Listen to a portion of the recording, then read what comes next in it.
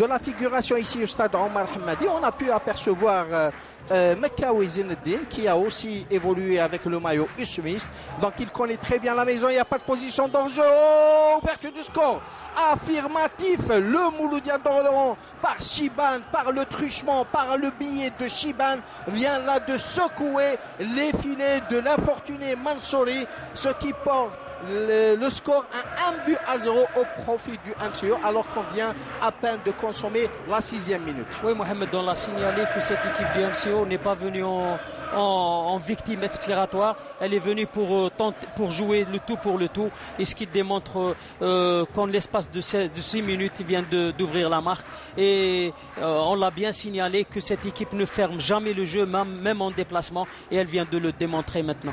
Et curieusement, l'arrière-garde Smith était passif sur cette action.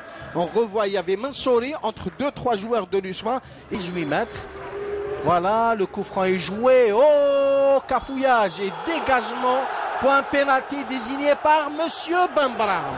Ah là là là là là là. En tout cas, Monsieur Bembram. voilà. Oh là là là là là. Il y avait une faute évidente. Non seulement il avait utilisé son bras Abdet. En plus de ça, il y avait ce pied levé. Euh, devant. Donc, euh, je pense que le penalty et il attend le feu vert de Monsieur Ben Braham.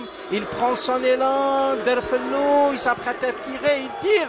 Oh, égalisation Schmitt. Oh, Natesh est parti du bon côté, mais il n'a pu stopper cette frappe foudroyante de Derfello. Oui, Mohamed, parce que y avait, c'était une frappe euh, puissante. Donc, oui, et puissante aussi. Il a donné de la, puissance à sa frappe. Donc c'est pour ça qu'il a, c'est pour ça qu'il a pris à défaut euh, euh, Natesh, même s'il est parti du bon côté. Euh, je pense que ça a été puissante. Donc c'est ça qui a fait que Derfelo a réussi à niveler la marque. Même que Natesh avait réussi à toucher le ballon avec son gant droit et sa main droite, malheureusement, ça a fini par échouer au fond de ses propres filets. En tout cas, égalisation. Usmist ici au stade complètement changé, sa trajectoire. Donc euh, c'est un penalty, euh, justement sifflé par M. Bambra. Évident, c'est un penalty très très justement. Ben, on verra bien. Il prend son élan d'Elfelou. Il frappe. Oh, il a changé de côté.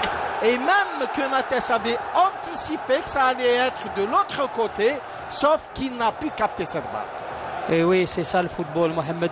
Euh, une équipe qui menait, une équipe qui maîtrisait le, match.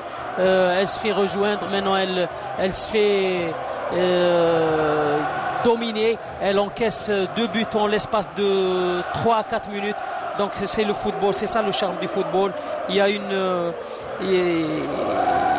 une concurrence, il y a, euh, cette envie du côté usmiste qui peut-être a, fait la différence. Et je pense que c'est amplement mérité par, rapport à ce qu'ils ont euh, fait en, deuxième mi-temps. Bien sûr, euh, Djilali Touzizi, il s'est pas donné n'importe quelle équipe de marquer deux buts en trois minutes. L'USMA d'Alger qui a égalisé à la 65e minute et qui est corse. Il y, a, cet équilibre entre les deux. Corner joué par Ben Moussa. Oh, tête et troisième but. Oh là là là là là là. L'USMA d'Alger vient là de s'offrir le luxe d'inscrire un troisième but et de la tête, bien ah, sûr. Et c'était signé Ben Yahya. En tout cas, un troisième but qui vient là de scier les jambes au poulain de Moaz Bouakaz. Le MCE qui était bien parti pour rentrer à Oran avec un résultat probant et mis devant le fait accompli. Et il vient là d'encaisser le troisième but suite à ce centre de Ben Moussa. Et cette tête bien smatchée de la tête par, euh, ben, euh, par ben oui, Mohamed, je pense euh, qu'à travers le résultat, je pense que le mérite revient aussi à, euh, Hamdi qui a su très bon coaching, très bon coaching, qui a donné beaucoup de tonicité, beaucoup de